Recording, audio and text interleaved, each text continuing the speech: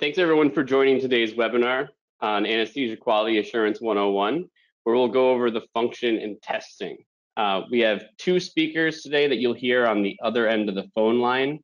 Uh, myself, Michael Raiche, uh, I'm a senior product manager here at Fluke Biomedical, um, and I've been here for about five years and managed multiple different product lines, uh, such as ProSim, uh, VT, uh, Impulse, and uh, I've also managed the, the entire business at one point.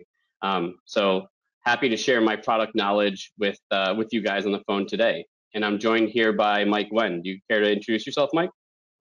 Yeah, thank you, Mike. Um, as, as Mike mentioned, I'm also a senior product manager here at Fluke Biomedical, and um, I'm now taking over all the product lines that Mike Raiche had just uh, previously been uh, managing. And um, yeah, thanks for joining the webinar today. All right, let's get started.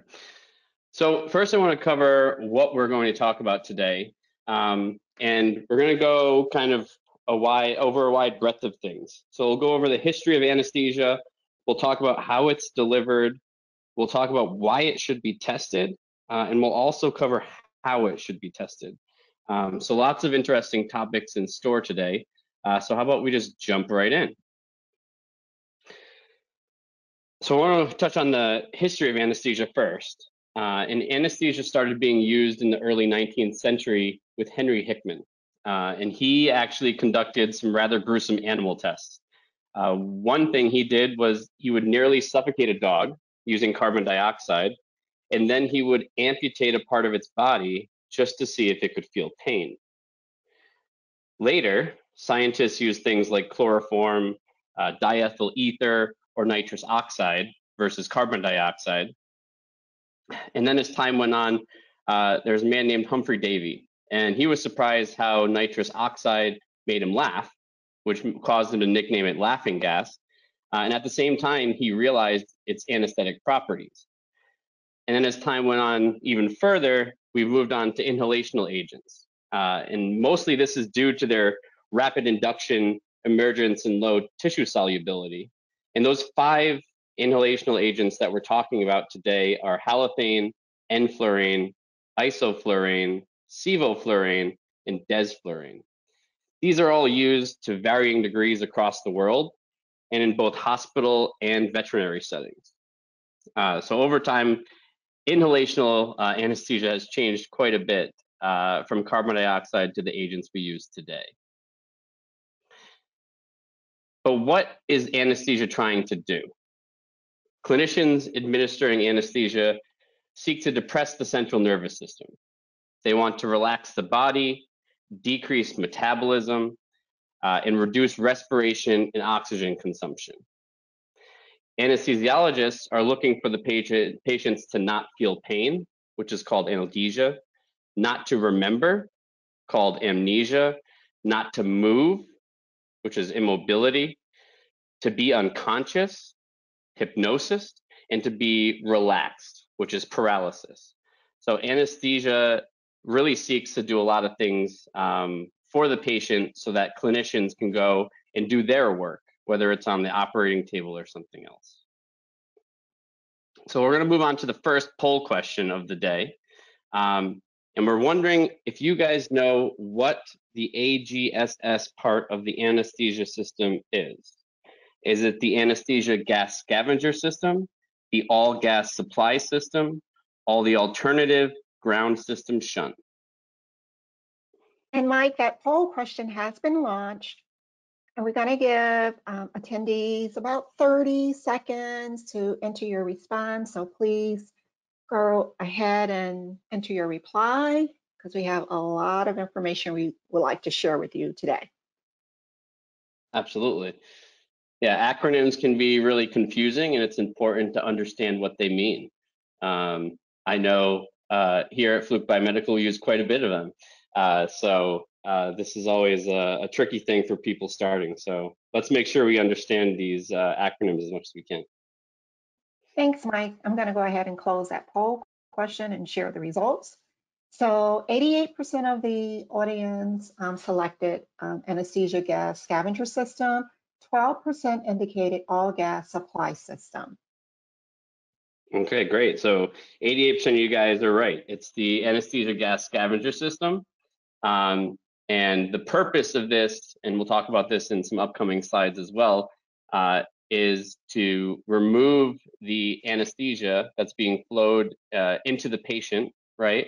Uh, and to make sure that it doesn't flow into the room because this can harm uh, the clinicians, right, that are actually treating the patient, um, but it can also uh, seep into other parts of the hospital as well.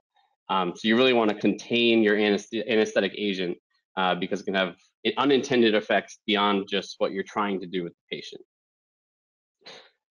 And that leads us into how anesthesia is delivered. Um, so what is the anesthesia delivery system? Um, there's two main functions of an anesthesia delivery system. One is respiratory support, uh, helping the patient breathe. Uh, and two is agent administration, the inhalational agent in this case.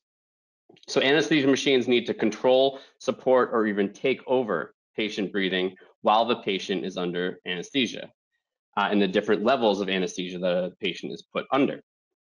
The way that the machine does this is through integrating multiple different medical devices into one anesthesia delivery system.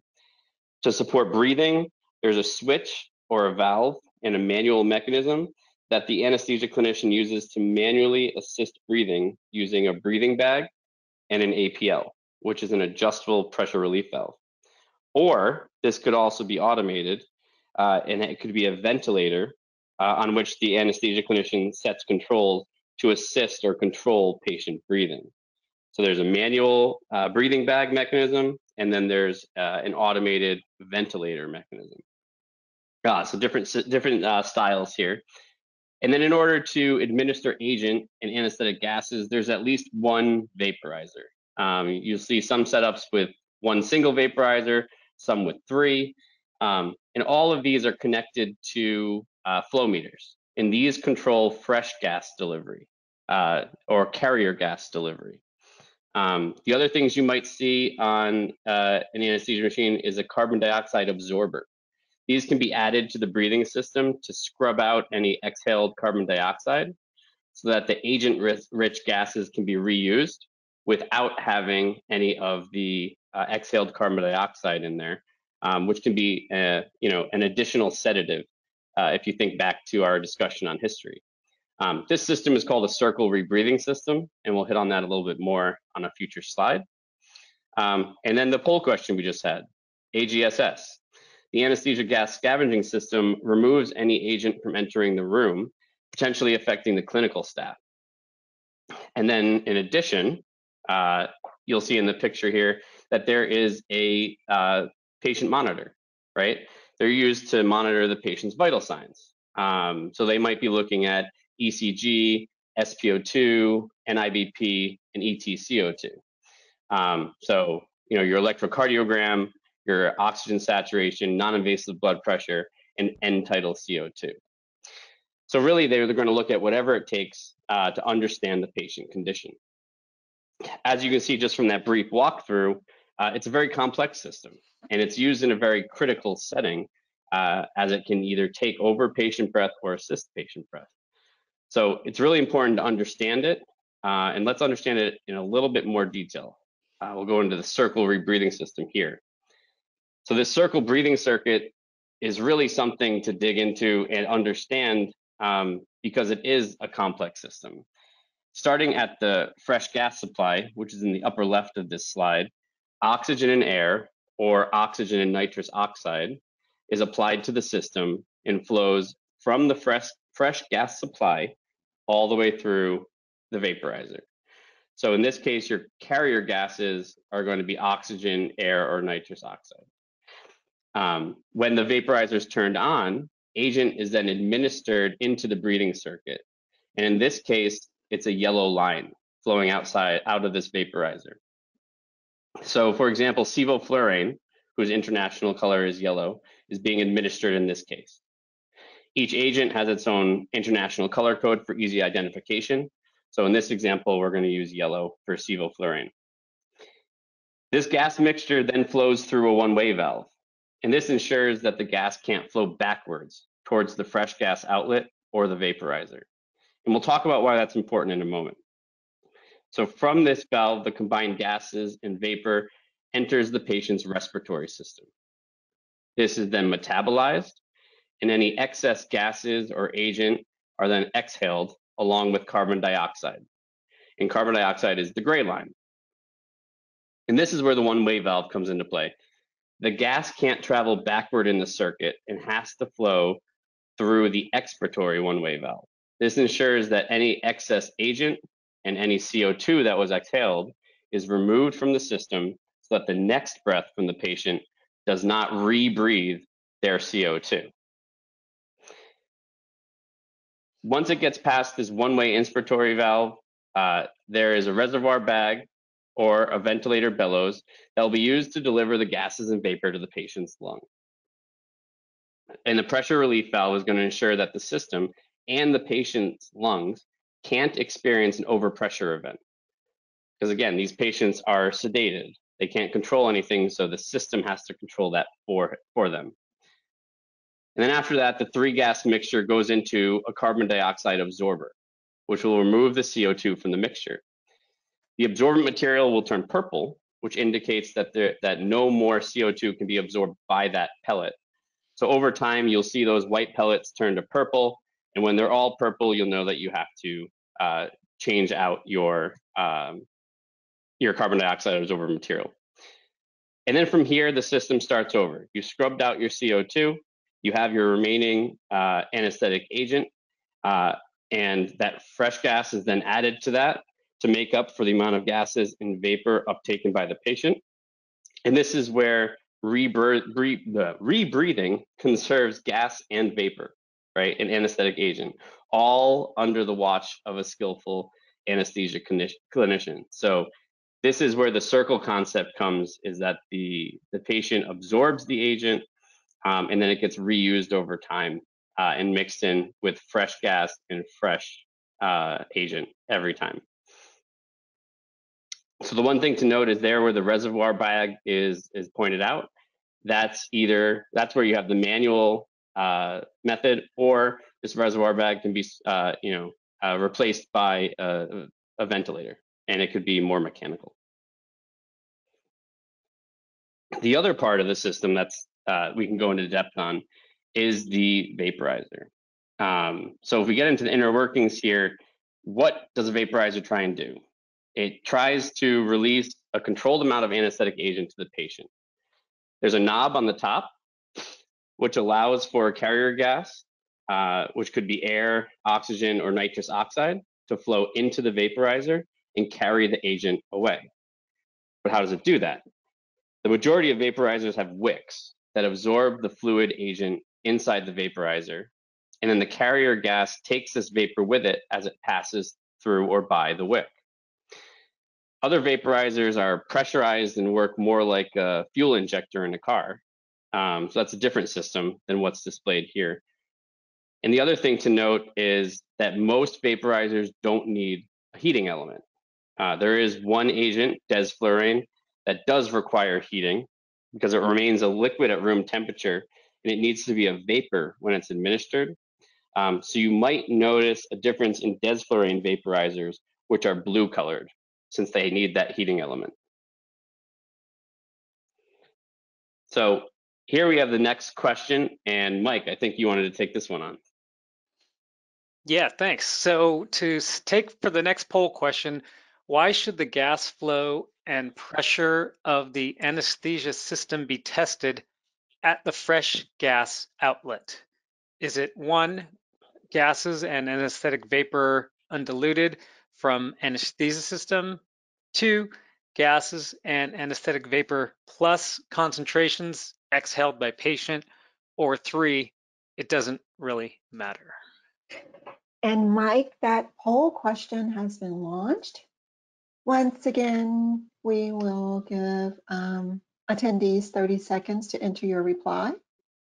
And responses are coming in. I think you're going to be really surprised with the results. This is a good question. Good. We'll see how it comes in. Okay, and that poll is closing now. and share, share the results. Let's see, 56% um, indicated um, one, gas and anesthetic vapor undiluted. 43% indicated gas and anesthetic vapor plus concentrations, and 1% indicated it doesn't matter. All right. Well, the answer is the first option, um, that the gases and anesthetic vapor are undiluted and are only from the anesthesia system. If you think about the last slide we were on with the circle rebreathing system, in the top left, right after the gases pass the fresh gas outlet um, and the, the vaporizer, that's when you're going to want to test it because uh, it's coming. Uh, so you're getting the undiluted uh, agent, which is you want to you're trying to test the vaporizer at the end of this, right? You're not trying to test the CO2 absorber. You're not trying to test any other part of the uh, vaporizer. You're really trying to focus in on where uh, the, the part of the medical device that you're trying to test. So that's why you want to focus on the fresh gas outlet. You don't need any other contaminants or anything else uh, messing with your results. So take those out of the formula.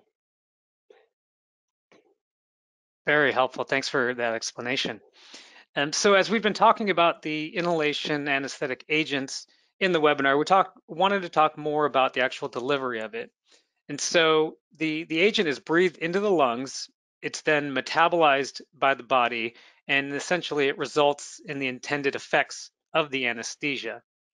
Uh, the systems can and do apply pressures, volumes, and flows of gases on a patient's respiratory system and can damage the human body. So before doing any testing or adjustment on an anesthesia delivery system, it is critical that we understand what we're doing and the effects that it can have. So shown here is the ideal gas law, but there's more to understand such as Boyle's law. Understanding the role that pressure, volume, and temperature, as well as many other factors play is critical to understand what we're doing and also if what we did had the intended consequences yeah, it's critical to think back to uh, high school math uh, or science in this case, right? Because um, we're playing with the human body, um, and we want to make sure that everything's working the way that it should. Exactly, and and at times it doesn't always go as expected. Um, so it really is important that ventilators be tested to avoid any unintended consequences, such as too little or too much anesthesia. So if too much agent is administered, it can cause cardiac arrest and even death. But under administration of the agent has its own issues as well. Uh, if too little is used, it can cause situations where the patient can still feel the procedure going on, which I think we can all agree is not what anyone wants. Um, in other situations, the patient is awake or aware during the procedure, which they're needed for listening or watching the procedure happen, um, but this can this can cause psychological effects that the patient may need to live with for the rest of their lives. So it really is critical that we make sure the equipment is working properly and administering the right amount. Uh, this leads us to our next poll question. So why is having more than one anesthetic agent a bad thing? One, because there may be a problem with the vaporizer safety system. Two, may cause an overdose to the patient, resulting in injury or death. Three, it may mean an older, less safe anesthesia system is in use. Or four, all of the above. And Mike, that third poll question has been launched and responses are coming in. And for this third poll question, we'll give um, attendees, let's give you guys um, 40 seconds for this one. 10 seconds per option. Yeah, you got it. Plenty of time to think.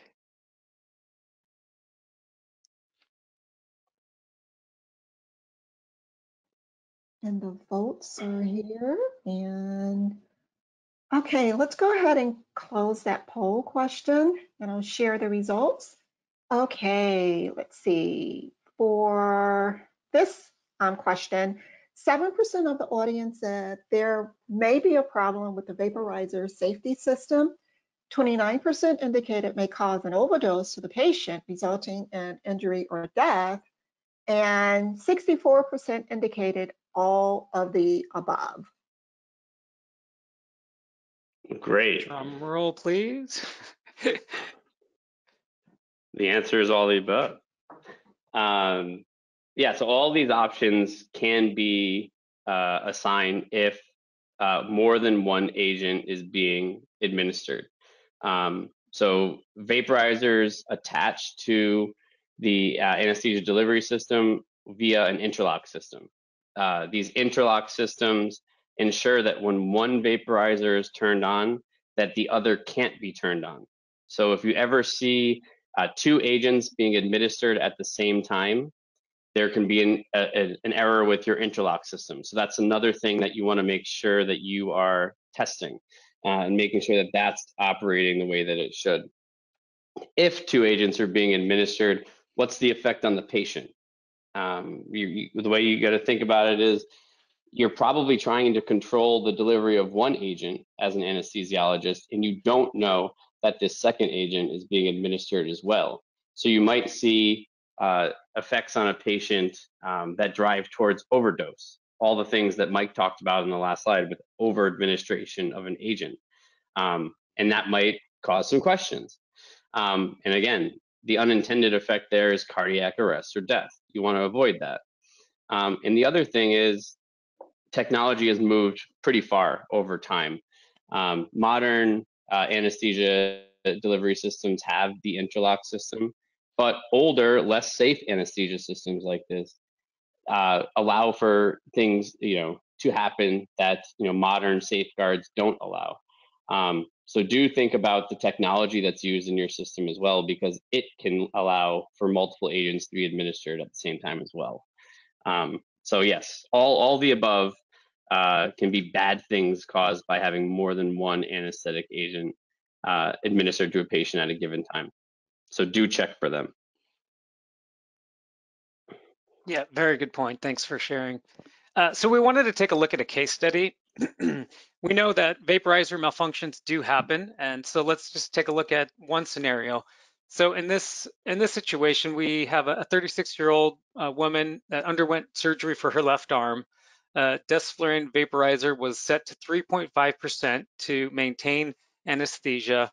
Um, what happened was after five minutes, the patient became oxygen deficient and displayed an abnormal heart rate and soon followed by cardiac arrest. The ECG monitor indicated that her heart had stopped an epinephrine injection had an external counter shock and restored circulation. Uh, the patient was then sedated and transferred to the post anesthesia care unit, where an X-ray revealed an accumulation of fluid in her lungs. So, what do you think went wrong here? And um, if we go to the next slide here. So, what happened was, if, if you know, it's important to really look at the equipment. And what they did was they did that, and they found that the vaporizer dial was cracked. So initially they had thought they were uh, giving 3.5%. It turned out it was actually 23%, so a much, much higher uh, amount than intended. Um, it's really important to know like failures like this can and do occur. However, they, they really are preventable. Uh, vaporizers themselves, they're very heavy, clunky devices that can drop. And if they are dropped, in, in this case, or if it's tipped too far back, the wick can oversaturate. Um, but know that if if it had been checked before surgery, we could have avoided this situation altogether. So it just further uh, emphasizes the importance of routine maintenance and testing to make sure you know we keep our patients' safety or our patients safe. Absolutely. So why should we test anesthesia machines? Well, the case study is a reminder that things can and do go wrong, the anesthesia delivery system has a lot of parts and routine maintenance can detect component and system failures. So let's remember that they are here to provide respiratory support and deliver agent, but it takes a lot of parts to do that and any one of these can fail. And there are tools that can help you detect the failures. So let's talk through how they can improve your testing.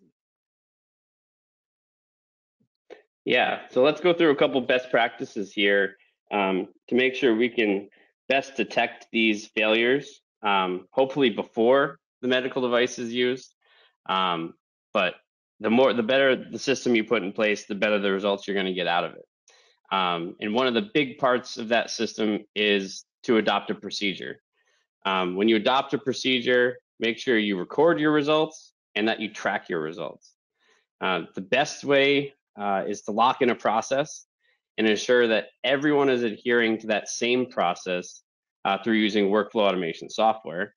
Um, but this procedure that you're going to lock in should follow the OEM service manual or your local, national, or international standards. And this ensures that your testing is both complete and compliant. Next, after you lock in your procedure, you have to follow that procedure. Um, so ensure that all the steps are carried out, that all the results are document, uh, documented, and uh, trends are tracked. Um, it's really important to have a process and follow it. And it's really important that this is done across the organization, right? Not that one person is doing it one way and another's uh, doing it another. Uh, consistency and standardization is key here. Um, and the last thing is don't change that procedure often. Stick with a common procedure. And if you do choose to change it over time, document what was changed and why you chose to change it. Uh, when an auditor comes in house, it goes a long way in defending your decision to change your procedure. The next thing after you have a procedure that you're following is determining your test frequency. How often will you follow that procedure? This should be found in your service manual, but many times service manuals don't uh, don't note it. Or if you can't find your service manual, uh, another way to think about it uh, is using a risk-based approach. Uh, and this is an example here on the screen. So what this does is it takes a few things uh, into consideration. So one is the criticality of the, med the medical device, right? The second is the risk that a failure might have. Uh, the third is the probability of a failure in your own hospital's experience with the medical device. And then it also takes into consideration the industry's experience with that medical device as well. Uh, so in this example here, uh, you know, it says that the device is used for life support, so it gets a five there. Uh, it could result in severe injury and or death um, that a common device failure is predictable and can be avoided by preventive maintenance, to Mike's point on the last slide, um, that there's a significant history of uh, incidents that exist, uh, and that there are requirements for testing independent of a numerical rating system. So as we look at all of that and add those up, it comes to a score of 17. Um, and a score of 17 is above the threshold of 13, which means that we require semi-annual testing. So twice a year service is recommended for ventilators uh, since they are critical life support devices and that failure could result in death. So if, if it could result in death and you can prevent it, we should prevent it. Um, so again, if you can't find a test frequency in your service manual, do use something like this um, to help you break down and figure out um, what your test frequency should be. The other thing is, we talked about the system. The anesthesia delivery system isn't just um, an anesthesia machine per se, right? So do one test that covers the whole medical device or asset. And, and this goes for all your medical devices in the facility, but we'll break down a, an anesthesia delivery system here. Um, it's complex. It has a patient monitor, a ventilator, a vaporizer, and it runs off uh, mains power. So that means to do the testing, you'll need a gas flow analyzer for the ventilator, a multi-gas analyzer for the vaporizer, an electrical safety analyzer since it runs off mains, and a patient simulator since you have a patient monitor built in. All of this to verify the performance and safety of the entire medical device. Um, the list of tools likely contains even more accessories and PM kits that you'll need to complete the job. Um, but these are the, the basic biomed tools that you need to get the job done. So make sure that you do it all at one time and you link those results back all the way to the asset number. So that asset number does contain all of these pieces of equipment. So do it all at once. Keep all the information together. We talked about the tools, but it's really important to choose the right tool. Um, and there's a list of questions that you should ask yourself before purchasing a gas flow analyzer and or a multi-gas analyzer, as those are the tools that are most specific to the anesthesia delivery system. You might want to ask yourself if it does all the testing required. Think about your ranges, your accuracies, right? Um, where do you do the testing? Do you have enough space? Is your analyzer large or small? Um, do you need to move with your analyzer? Is it heavy? Um, can you automate it? Everyone has a lot of uh, medical devices that they need to perform testing on every year. Can you do it faster? Can you do it more standardized, right? Um, do you travel? Do you need it to be portable? Similar to the points I made earlier, size, weight can all be a factor. Um, do you need to plug it in? How many times have you done a preventive maintenance and you couldn't find an outlet nearby? So is your device battery powered? Can you unplug it from a wall and perform your testing um, if you're in one of those situations? And is it easy to use? We have people coming into the industry all the time. Is it easy to onboard someone and teach them how to use it? Um, this could be the button pushing on the screen, uh, but this could also be uh, the transfer of knowledge. And if you use a workflow automation software, is it easier to get them started on that? To say, here is what you do. Here are the pictures. Here's the procedure. These are all great questions, right? But to make sure you pick the tool that's right for you and the right for your job is, is paramount because there are requirements here. And at the end of the day, we're, we're trying to ensure patient safety. And not just patient safety, but operator safety. So our final poll question here uh, is on the screen now. Uh, when should a certified test lung be used? When you're testing the anesthesia system ventilator, when doing any testing of the anesthesia system, or when testing the output of the anesthesia, uh, anesthesia system table before the breathing circuit. And that last poll question has been launched.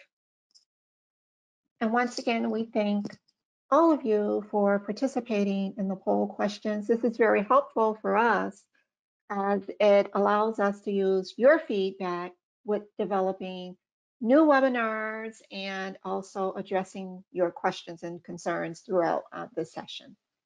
And so we're going to give participants another, let's give them 15 seconds to enter their reply and I'll close the poll.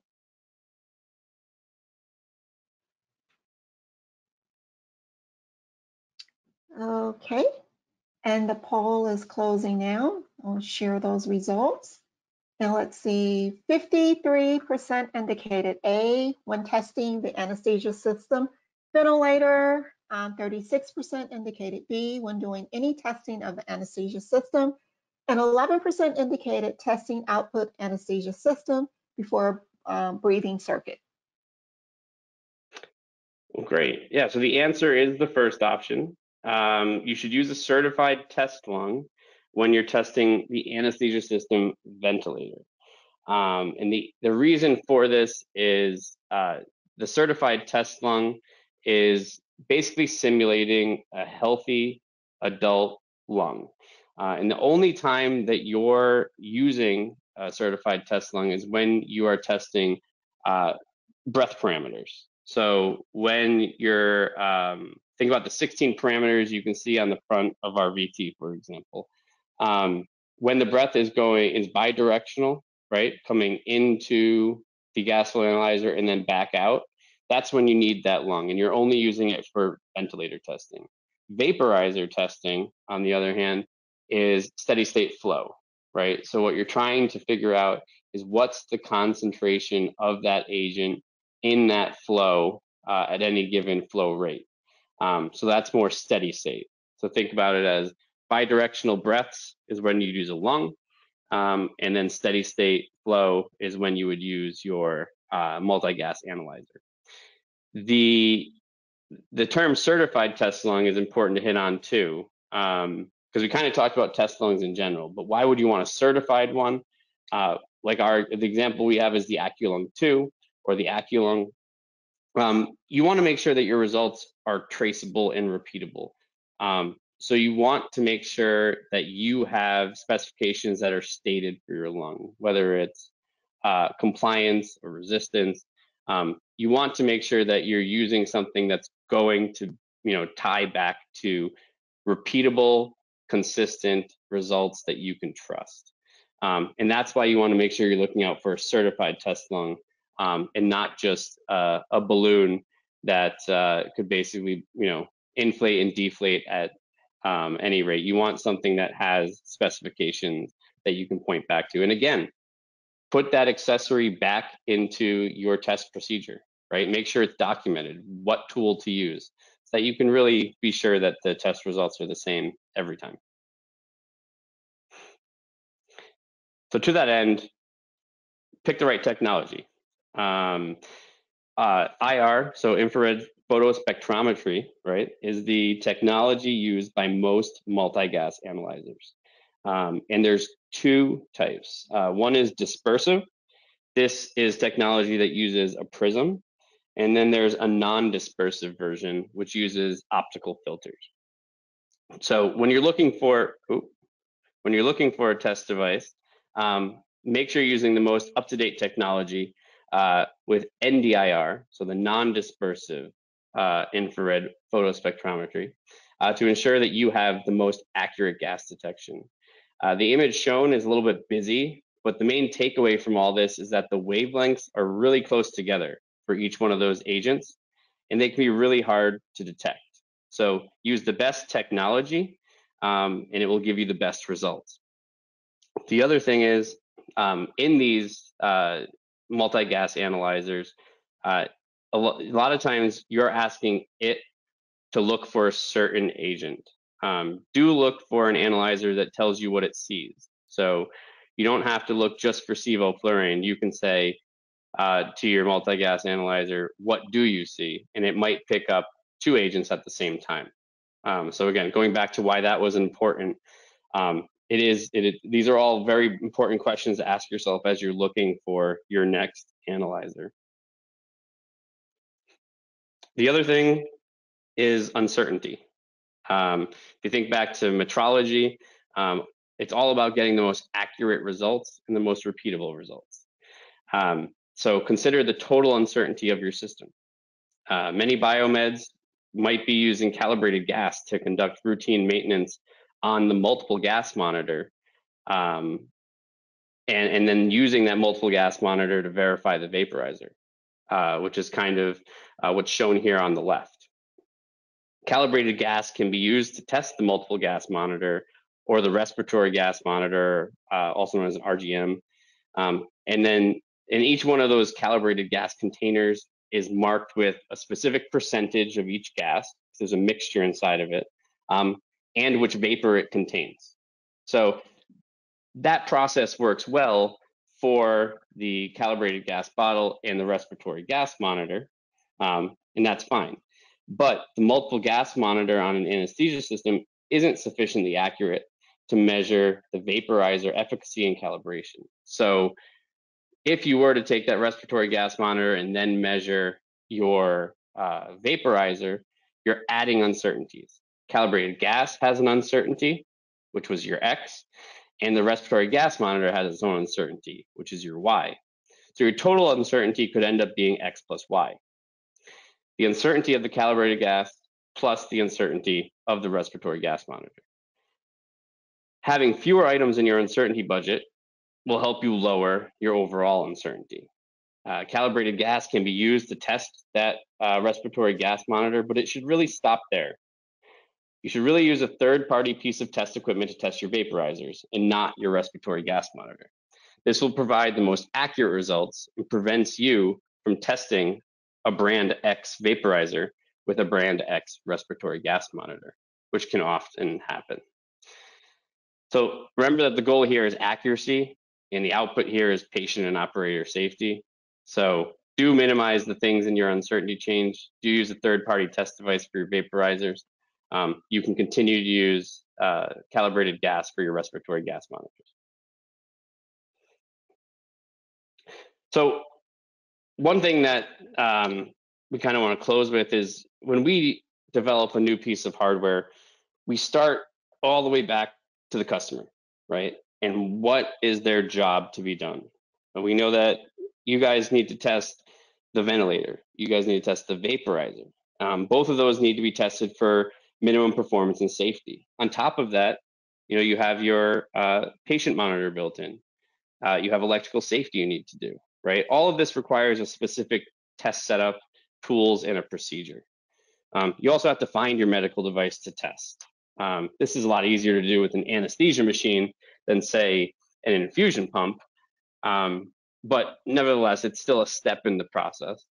Uh, and then you typically have a system uh, or CMMS, which will help you open and close your work orders. So as we went through and developed our products, you know, we listened to all your feedback, and you know, we made sure to allow uh, that our allow our analyzers to be all day on the go testers of medical gas flow equipment. You know, we we know that a single solution was needed, right, with no modules, with a short warm up time and improved portability.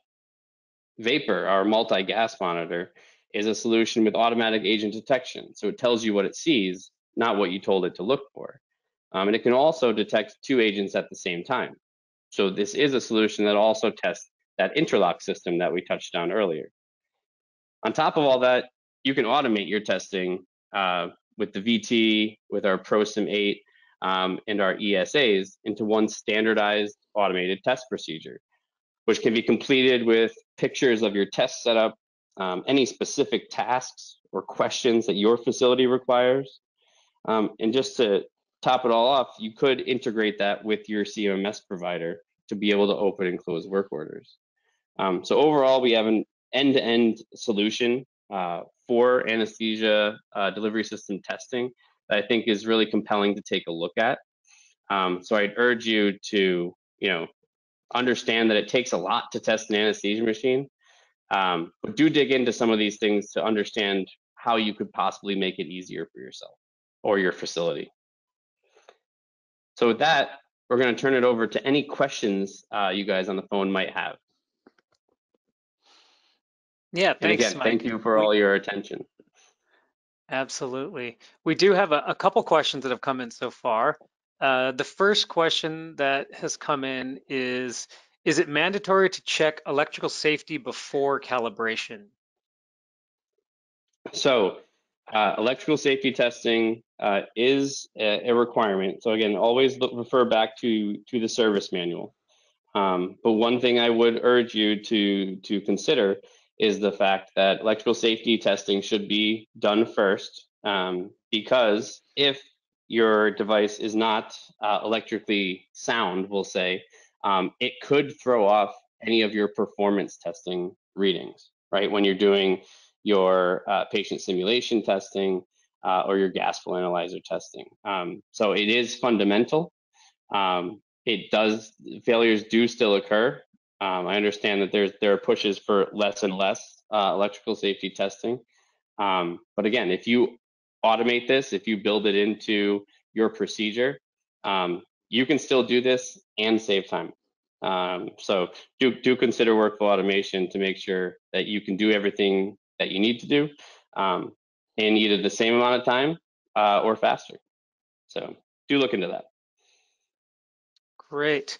Uh, we have a question that, that goes back to one of the slides referring to the case study.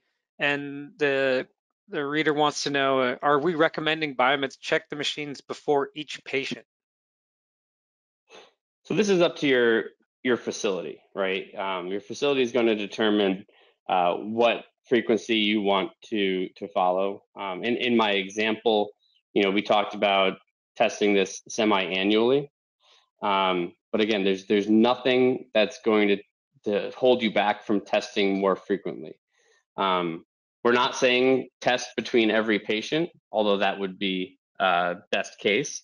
Um, that example was just to illustrate that, you know, if if preventive maintenance had been done uh, before that case, um, or or think about it this way, um, that that technician likely dropped the vaporizer or tipped it over, um, somebody knows that that happened, right?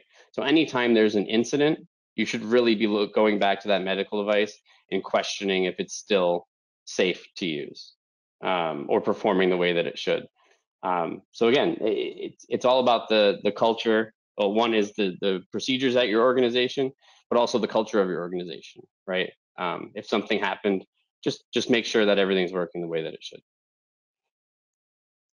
Okay, another question. What's the difference between auxiliary common gas outlet and fresh gas outlet? Um, there are a lot of terms depending on brand and model um, of different uh, anesthesia delivery systems, um, and you know a lot of times it, they're they're very much the same.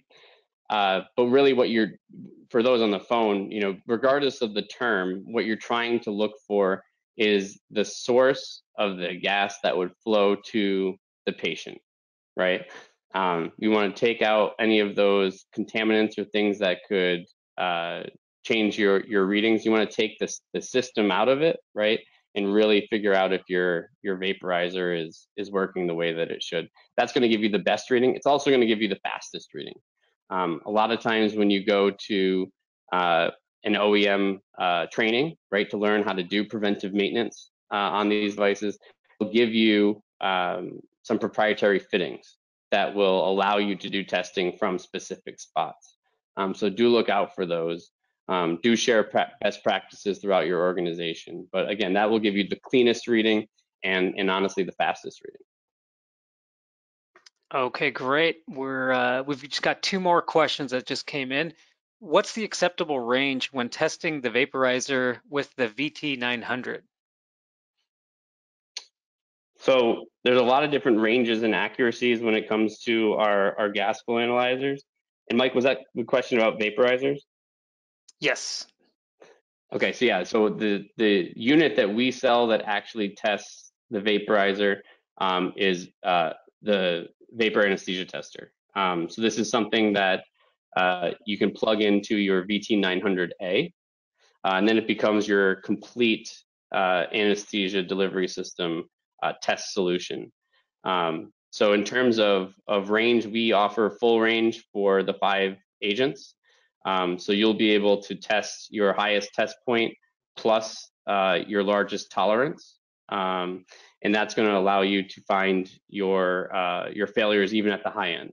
Um, and that's something that was uh, rolled out recently. So if you do own a vapor and you haven't uh, updated to the, the latest firmware, make sure you do that um, it unlocks some some new features uh, even within the last year.